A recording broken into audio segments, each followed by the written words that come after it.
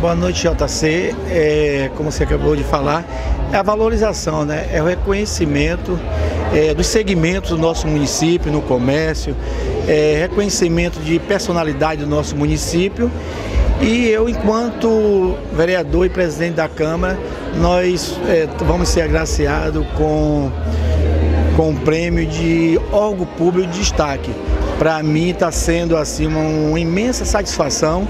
Me sinto assim honrado em estar tá recebendo essa honraria é, em tão pouco tempo à frente do Poder Legislativo ser escolhido é, órgão público de destaque. Para mim está sendo bastante gratificante. A gente sabe que nós não conquistamos isso só.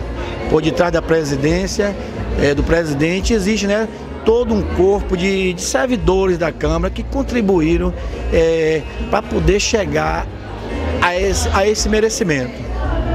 Essa questão da, da organização você fala, né? É, estamos aí há pouco mais de seis meses de atividade, né, conseguindo já esse destaque. Como é que você se sente em relação a esse diálogo com, a, o seu corpo docente que você fala, para ter essa articulação e trazer essa visibilidade para o Poder Legislativo?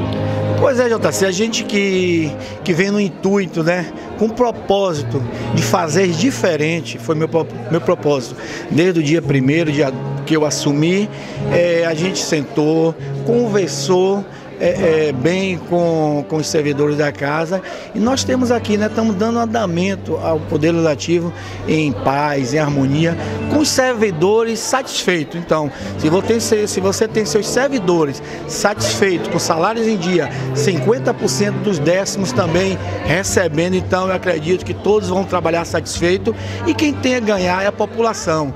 Quando chega àquela casa, é bem recebido e não é à toa que ela foi escolhida como o melhor órgão público do município. Alguns, alguns servidores aí né, que estão tá sentindo realizados e ter sido convidado também para a Câmara estar tá participando desse momento aqui junto com vocês. Poxa, Jota, vocês são, sem sombra de dúvida, esse prêmio não pertence só a mim, esse prêmio pertence também aos servidores. Eu não poderia, em hipótese alguma, né?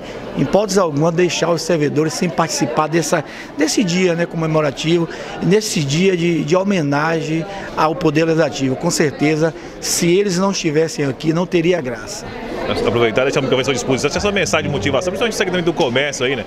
Que tem se esforçado aí para contribuir para que esse momento também pudesse acontecer aqui no dia de hoje. Pois é, JC, a gente sabe que são diversos segmentos no município. A gente sabe que é escolhido um de cada segmento. Você que não foi escolhido esse ano, vamos trabalhar diferente, vamos soar a camisa. Quem sabe no próximo ano, que não estava, pode passar a estar aqui. Então, desde já eu agradeço a você, JC, a nossa amiga Nete, né, conhecida carinhosamente por Pintinha, por estar realizando no nosso município um evento de tamanha importância, né? Um evento bonito, um evento muito organizado. Tá? parabéns à nossa, à nossa amiga Nete, conhecida como Pintinha.